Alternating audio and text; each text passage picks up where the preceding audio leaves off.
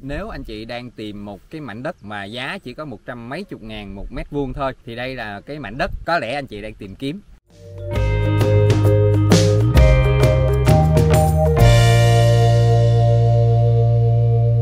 Xin chào tất cả các anh chị quay trở lại kênh của Hiệp. Trong cái video ngày hôm nay Hiệp lại tiếp tục chia sẻ với anh chị một cái mảnh đất rẻ. À, Đầu tiên thì Hiệp chia sẻ với mọi người là Cái này Hiệp cũng hay nói lắm là không có một mảnh đất nào hoàn hảo anh chị. Nó rẻ thì nó phải xa hoặc là nó gần thì nó phải giá cao. Còn hôm nay là một cái mảnh đất mà đường ô tô có thể đi vào được, nhưng mà nó chỉ có một trăm mấy chục ngàn thôi. Thì hiệp đánh giá nó gần hơn rất là nhiều so với một số cái mảnh đất khác. Bây giờ mà anh chị đi đến những cái vùng ví dụ như là bắc bình, hoặc thậm chí là hồng liêm, là những cái địa phương mà cách phan thiết là khoảng ba bốn mươi km trở lên mà mua một trăm mấy chục ngàn một mét thì khó mà ô tô vào được nha anh chị. Và thậm chí không xác định được đất nó nằm ở đâu luôn. Đây không, hiệp không có ý là chê hoặc là dìm những anh em bạn bè mà đang, hoặc là những nhà đầu tư nữa, đang mua đất ở những cái khu vực đó. Nhưng mà ờ, mỗi mảnh đất nó sẽ có một cái lợi thế riêng. Có thể ở ngoài đó là anh chị có cái luồng thông tin tốt hoặc là cái view, anh chị ưng. Còn hôm nay là quay lại chủ đề mảnh đất ngày hôm nay là một cái lô đất nằm ở xã Hàm Phú, huyện Hàm Thuận Bắc, tỉnh Bình Thuận. Cái vị trí hiệp đang đứng này đi ra đến DT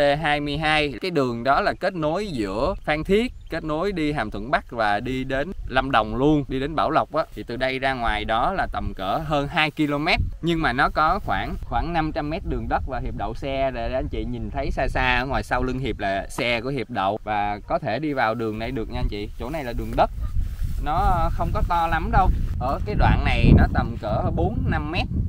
Còn cái đoạn ngoài kia thì dễ đi hơn. Nó có cái hàng cọc, hàng đồ rõ ràng thì đường nó cũng cỡ đó thôi anh chị. Nói thật là cái chỗ này giá nó rẻ và với cái view, với cái vị trí như này thì hiệp thấy hợp lý thôi, chứ còn bây giờ kiếm mà nó đẹp hơn, nó tốt hơn là không có. Bởi vì thực lòng mà nói là bản thân mình đi mua cũng vậy anh chị, thời gian thì giá đất nó sẽ tăng lên. Và với cái giá đất, ví dụ năm ngoái đi tìm một trăm tư trăm rưỡi nó đã khó rồi. Và đến thời điểm này vẫn tìm được một trăm tư trăm rưỡi thì thì nó cũng khá là khó đó anh chị, mà đường phải vào được rồi tiếp tục quay lại câu chuyện. Ở đây nó, anh chị nhìn phía sau lưng hiệp sẽ thấy là lúa. Có lúa thì ở trong cái mảnh đất này nó sẽ có ờ, khoảng một xào tám đất lúa nha anh chị. Khoảng một xào tám đất lúa là cái, cái mặt này nè anh chị nó giáp với con đường. Và ở phía sau nó có một hecta bảy 1,7 hecta. Nó có hàng cọc hàng đồ bao quanh ở sau anh chị mà phải đi cái đường bờ này vào phải đi thông qua cái đám lúa này vào. Chăng nên là sẽ bán cộng gộp hết.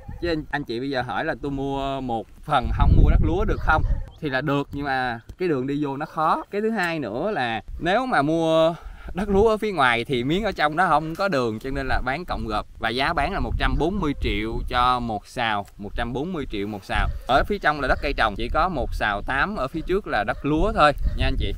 Và cái bề ngang của cái mặt tiền này là ba mươi mấy mét. Nó vuông vắn, nó kéo thẳng vô có hai hai đám lúa, nhưng mà một sổ kéo thẳng vô trong. Nó vuông vuông như vậy nè anh chị. Rồi vô trong á là cái hình đất ở sau là nó ôm một xào tám ở phía trước nó thẳng vô đất nè. Rồi đất nó nở qua hai bên nha anh chị và nở theo cái hàng cọc. Nó nở theo cái hàng cọc đó. Ở đây nhìn thấy hàng cọc hiệp nhìn thấy bằng mắt thường là là là, là khá là rõ. Tức là một hecta bảy ở trong nó nó đâu nó vô đó rồi. Ở ngoài thì tiếp giáp đường và sổ có thể hiện đường nha anh chị. Cái phần đất lúa phía trước này thổ sổ thể hiện đường.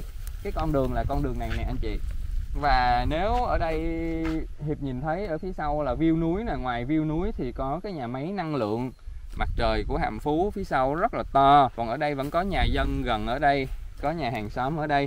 Có vẻ là họ ở cũng khá là lâu rồi đó anh chị. Cái nhà này xây lâu rồi. Và họ họ, đây có hàng xóm và họ dùng điện nè anh chị. Ở điện này thì hiệp chia sẻ luôn cái phần điện này để cho mọi người ở đây. Dạo này bà con, anh chị hay quan tâm là cái điện này là điện bình điện bình ở riêng ở bình thuận anh chị bà con hay trồng thanh long á.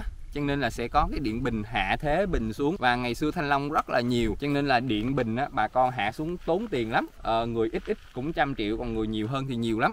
Để bình nó đắt á. Còn bây giờ thanh long đâu có trồng nữa đâu anh chị. Thanh long bà con không trồng nữa cho nên là cái bình nó sẽ cái công suất bình nó sẽ dư ra cho bà con.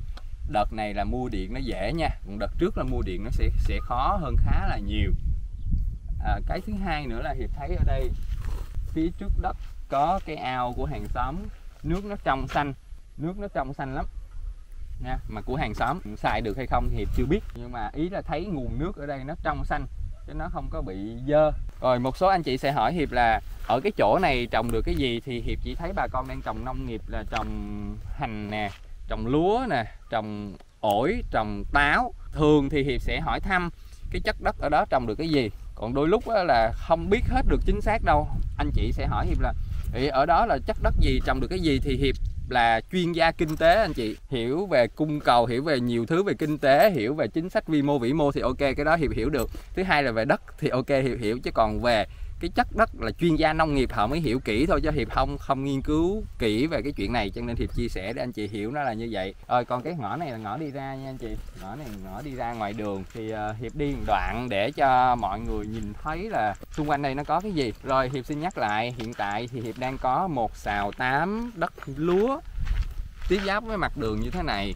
Và ở phía sau thêm là một hecta 7 nữa là gần gần một hecta chín anh chị gần một hecta à, chín và giá bán là 140 triệu một xào vậy thì uh, nếu nó là 2 hecta thì 2 tỷ 8 còn này trừ đi là còn 2 tỷ 6 mấy. Ở đây nó có mương nước trước đất nha.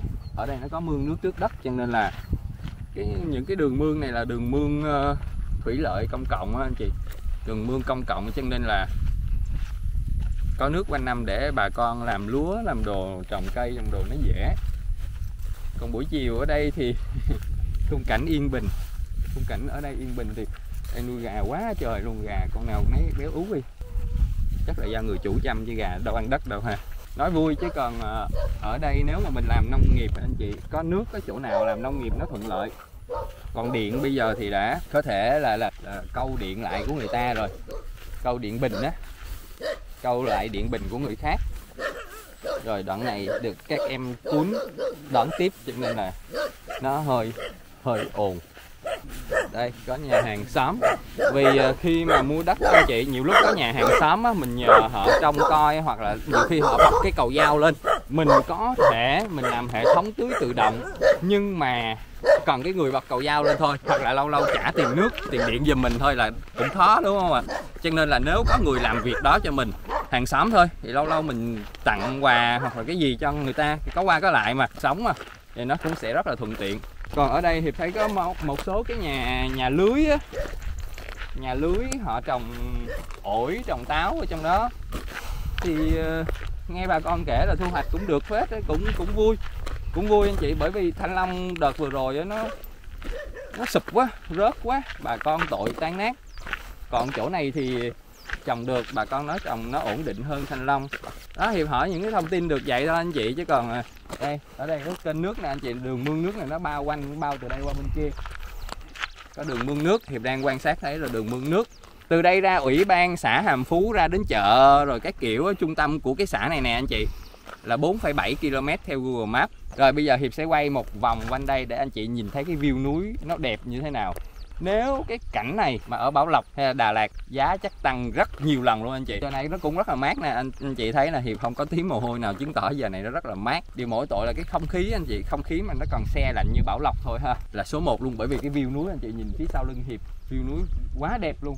Tóm lại là nó có cái view đẹp gần một xào chín 140 ngàn một mét vuông. Rồi, ok, nó chỉ có vậy thôi, anh chị anh chị quan tâm thì hãy liên lạc với hiệp nha. Rồi, cảm ơn anh chị đã xem. Hiệp sẽ tạm dừng video này ở đây. Bye bye anh chị, chúc anh chị một ngày tốt lành và hiệu quả. Hẹn gặp lại ở video tiếp theo nha. Tạm biệt.